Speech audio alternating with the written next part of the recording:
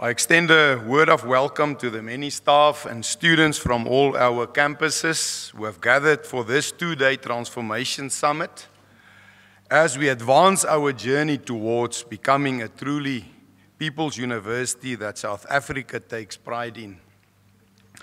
I observe all protocol with regard to the TUT community and also warmly welcome our external guests and conversation leaders. Let me start by saying that I'm intensely proud of TUT. It is only 13 years old, yet it's already recognized to be in the top half of universities in South Africa. I am a product of TUT and have been one of the in, have been part of one of the components of the university, namely the Technical Northern Gauteng, since 1990.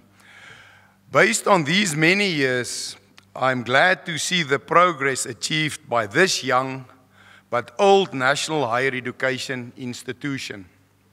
While we should be rightfully cautious for a number of reasons about national and international university rankings, I'm cautiously optimistic that TUT has been recognized in recent academic rankings. TUT has evolved from its origin as three distinct apartheid era technicons into a national university of technology and now pushes forward towards becoming a people's university.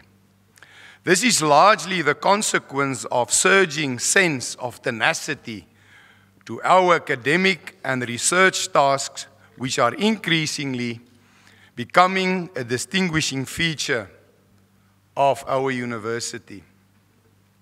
Let me take this opportunity to express my deep gratitude to our students, our staff, and the governing council of the university. Thank you very much for your commitment and dedication to make this a people's university. All the many achievements in the academic, research, community engagement, and even on the sports field are the result of your commitment to building our university and allowing us to proudly proclaim our intention of becoming the People's University of South Africa. But can we claim such a position? I'm asking this, my intention is to appeal to you all to join in saying together, we can do more. I am deliberately saying this to galvanize your commitment and courage, which is required at this time in the history as a people's university. It's about making TUT one of the best institutions as the people's university that we empower people. I add my voice to that of the University Council to say that we are deeply grateful that you, as staff and students, have offered your talent and time, and in doing this, are proud to be the People's University. As the host of the summit, it must, I must be cautious not to start by advising myself. For some of you could rightly ask me, why did you call us here if you think that you can give advice to yourself? My task this morning is to respectfully welcome you to the summit and then sit down and listen and listen. I therefore ask for your indulgence for a few moments as I reflect on and voice some of my thoughts as your Vice Chancellor. In 2004, at the time of the merger of the Tshwane University of Technology, we underestimated the enormity of the task which faced us.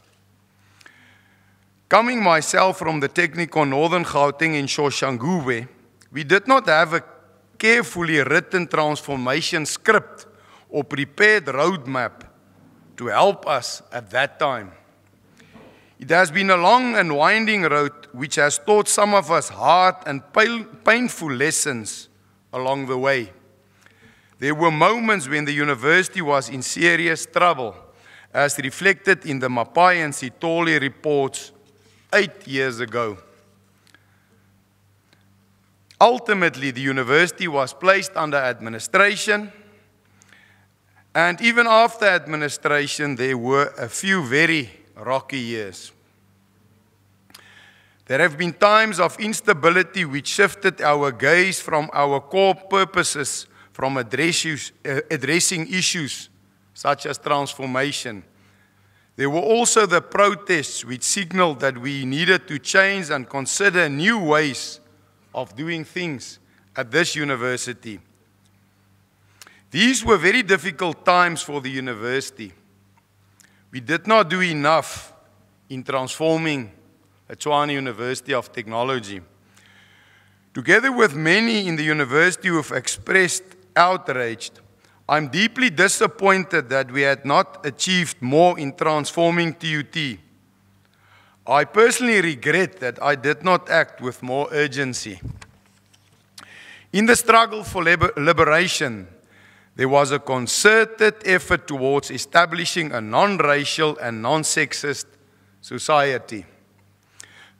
This was at the forefront of many national initiatives. However, we underestimated the extent and deep rootedness of racism, patriarchy, and tribalism. As university, we are now compelled to respond in a favor and new transformed institutional culture. We have far to go as a country to construct an inclusive and just society which cares for all its citizens and its most vulnerable members. Similarly, at TUT, we too have far to travel to transform this university. There's an African proverb on one of the banners in the hall today which correctly says, If you wish to move mountains tomorrow, you must start by lifting stones today. In many ways, the impact of the merger continues to be felt today in the university, and many of you would agree that we are still in the process of completing some aspects related to the merger period. There remain many stones to be lifted. As I recently said in the Teaching and Research Excellence Awards ceremony, we must define ourselves by the word excellence. It is about excellence in TUT's academic project and research. It is really about all of us, our academics, researchers, support staff, and students, to be the embodiment of excellence itself in our attitude, commitment, passion, and quality of academic and research activities. In other words, it is creating, developing, and sharing knowledge for the good of our students and communities, our country, and our continent. What better way is there to speak about bringing together the notion of the transformation of TUT and academic excellence? Transformation is about not accepting mediocrity or second class academic and research performance or poor service delivery to our students. We must constantly strive for nothing less than the highest quality research and academic standards and outputs. It is the difference between TUT being a good university and being a great university. There is no place for us to be ordinary. We must strive to be great as a university. Our campus environments and our administrative services must reflect what it means to be a transformed university, great university. As you well know, the failure of us transforming TUT through producing effective graduates who are leaders and agents of change and addressing burning social and economic issues will have dire consequences for our society. We are not just any organization, we are a university. And it means we cannot just be administrators and run our university like it is a factory. We are not to be driven by profit motives. The university requires intellectual, academic, and research capabilities and leadership with effective support functions at all levels in the university in order to advance our people, our country, and our region. Internationally, however, the future of the scientific endeavor and the purpose of universities are increasingly under threat as populist rhetoric and alternative facts replaces considered reason and verifiable evidence. The future of humanity is now seriously considered to be under threat of extinction. The earth will continue long after we have disappeared. It is, crit- it is critical that we embrace what it means to be stewards of creation of our earth. The window for ensuring a sustainable future for humanity is fast closing. Some would argue that it has already closed. Could we not consider linking all of our research and academic endeavors under a sustainable focus? It is anticipated that Professors Soudin and Bawa will address these issues in their reflections. This is the context in which uh, I want to invoke in welcoming you to this Transformation Summit 2017. It is asking the questions about the place where ideas are to intersect, to answer a fundamentally important question, Q vadis, TUT. This is the Latin phrase for where to from here. This is what I want us to think about. The legacy that will put purposefully leave for our children and grandchildren, our students, and our fellow staff members, our university system, our country, and definitely our continent.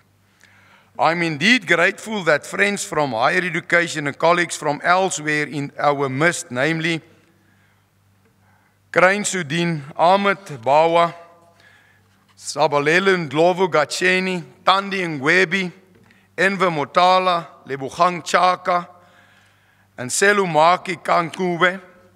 Thank you very much for accepting our invitation to be part of this conversation in shaping the journey of this important national asset, TUT, which exists primarily to learn, teach, research, and create new knowledge for the public good of society.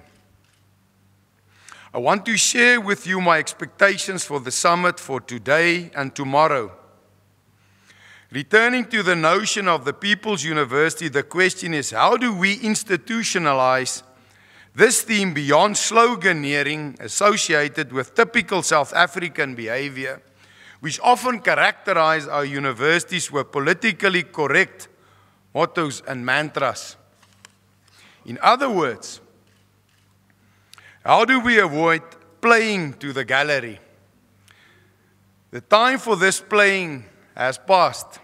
We are now in a phase where the fundamental question about transformation at the core of the business of the university ought to be better answered.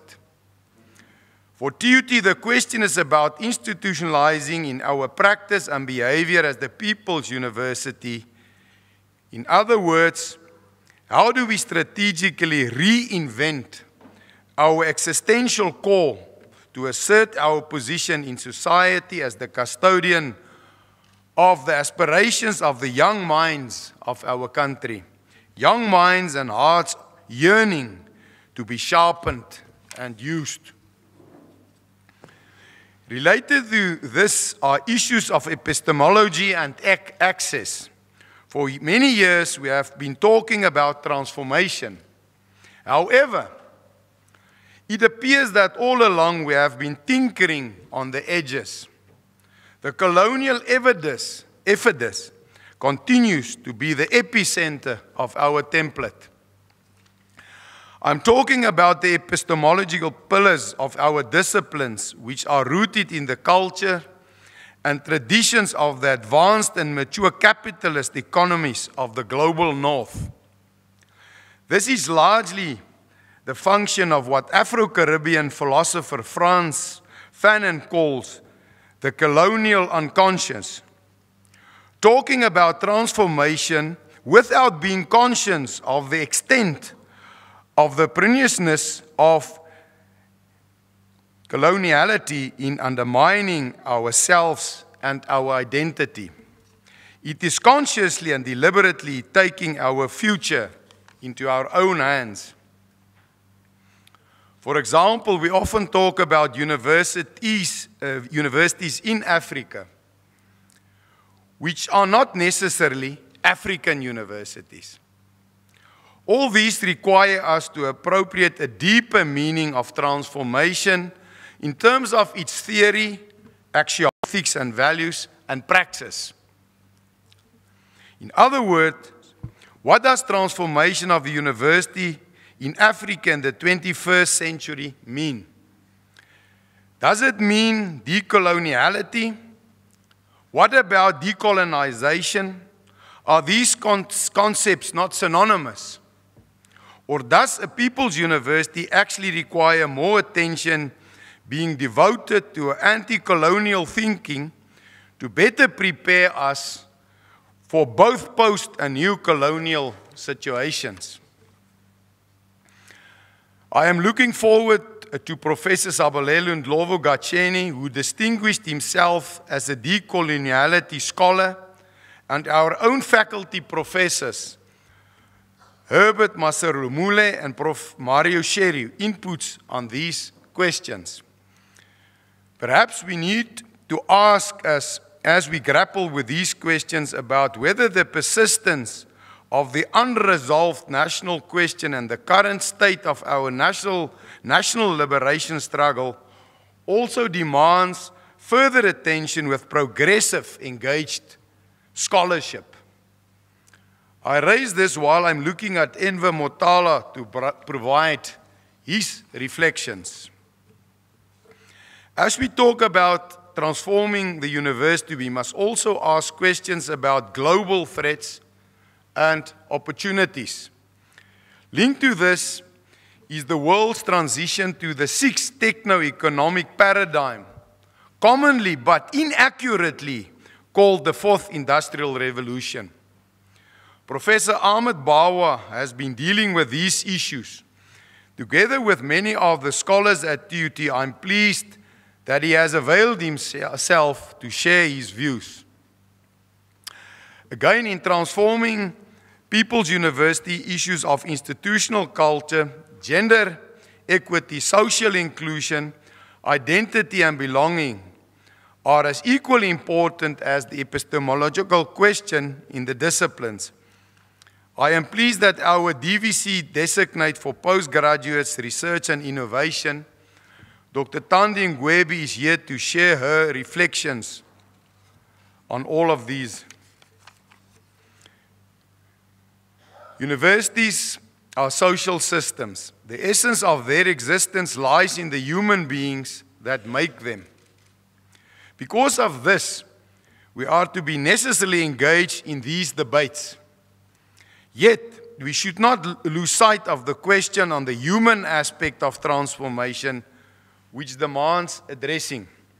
It ought to be about the change of our attitudes, behavior, and interpersonal relationships. Ngugi wa Thiongos remind us that we need to decolonize our minds.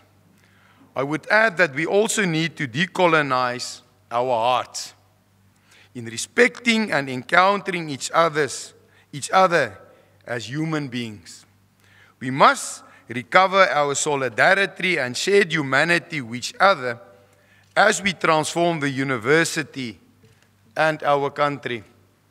In this regard, I look forward to the message of Selumakika Ngube and the actors in the drama presentation Homong later today.